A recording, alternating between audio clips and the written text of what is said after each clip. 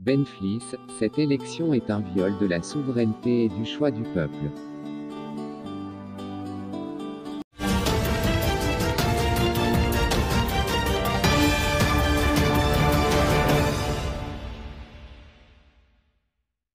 Le titre pourrait induire nos lecteurs en erreur. Et c'est prémédité.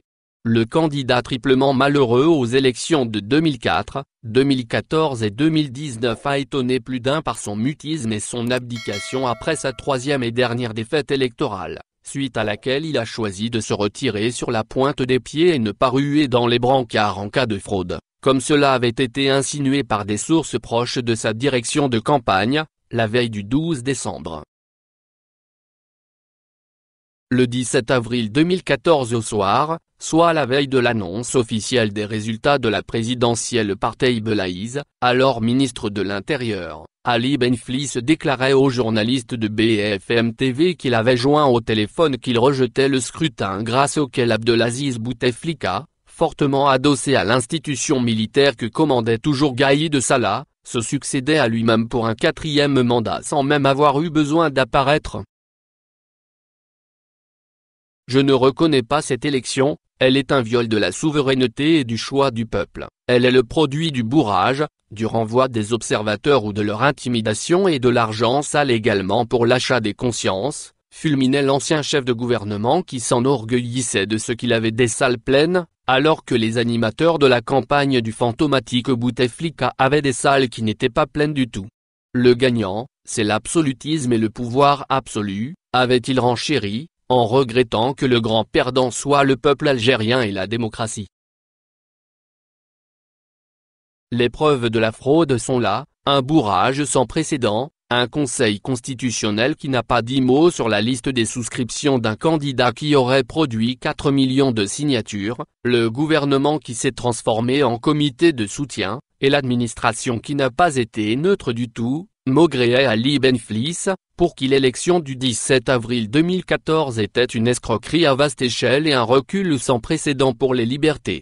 Il ne fait aucun doute que Bouteflika va être déclaré gagnant, alors que ce candidat n'a pas fait campagne, il va être crédité de la majorité des voix, avait-il anticipé. Les preuves de la fraude se sont à nouveau confirmées, les atteintes aux libertés se sont aggravées cinq ans plus tard et sa déconfiture était annoncée bien avant la tenue de la présidentielle du 12 décembre, mais Ali Benflis a quand même tenu à y prendre part et, une fois le nom du vainqueur connu, il s'est retiré la queue entre les jambes. Qu'est-ce qui a fait courir ce vieux routier de la politique durant toutes ces années dont les Algériens ne garderont que ses échecs répétés et tous pressentis? Qu'est-ce qui a changé chez l'homme pour qu'il ait décidé de descendre du train sans crier gare بأن مستقبل الجزائر سيكون فيه الخير ان شاء الله ان شاء الله مطمئن كل اطمئنان أدعوكم ومن خلالكم كل الشعب الجزائري إلى مواصلة رفع التحديات باش تصبح الجزائر دولة إقليمية قوية ويصبح الشعب الجزائري معتز بالدولة تاعو. وكونوا دائما في خدمة الجزائر أنا بالنسبة إلي جعلت حدا لمشواري السياسي. لماذا؟ لأترك الفرصة لما ترونه من الشباب هذا هنا كلنا. وأنا أبقى أتفرج وأشتغل بالقلم نتاعي وبالفكر نتاعي. وأفرح بما سينجزه سينجزه شباب الجزائر وشابات الجزائر من خير لهذا الوطن ولا أشك في هذا على الإطلاق لسبب بسيط أنكم في هذا الجمع وفي لقاءات كثيرة مع الشعب الجزائري. يعني أبناء الشهداء أحفاد الشهداء أبناء المجاهدين إلى آخره. هذا التيار الوطني وهذا الدم اللي يسير في العروق نتاع التيار الوطني يبقى دائما يبقى دائما مدافعا عن الجزائر ومحققا للجزائر من الخير ومن الخيرات ما تنتظره الجزائر. إذا هنيئا لنا جميعا بحملة انتخابية. قدتموها في كل أنحاء الوطن وقدتموها كذلك في المهجر بالكلمة الطيبة. بالكلام الطيب بالحسنى ولم أسمع في الحملة الانتخابية. مي في المداخلات اللي درتوها في كل القنوات في الجرائد لم أسمع كلمة يعني كلمة ناقصة ولا كلام آه، ب- بذيء على الإطلاق عمري ما وقعت. وبالتالي شوفوا هذا وعي كبير وهذا شرف كبير. وخدام الدولة. في كل تفرعاتها وفي كل مواقعها. إن شاء الله. يتسموا كلهم بهذا التصرف.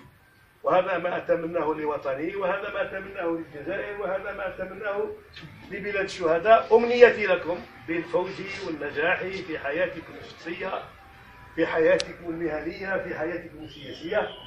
حمدا لله رب العالمين أنه مكنني من أن أعرض برنامجي. في 2004 وفي 2014 و2019 وحمدا لله رب العالمين أنني سعيت واجتهدت وقدمت ما كان بإمكاني تقديمه للجزائر والجزائر تزهر بقدرات وبكفاءات وبشباب من النساء والرجال يخدمونها إن شاء الله مستقبلا. حمدا لله رب العالمين والسلام عليكم ورحمة الله وبركاته.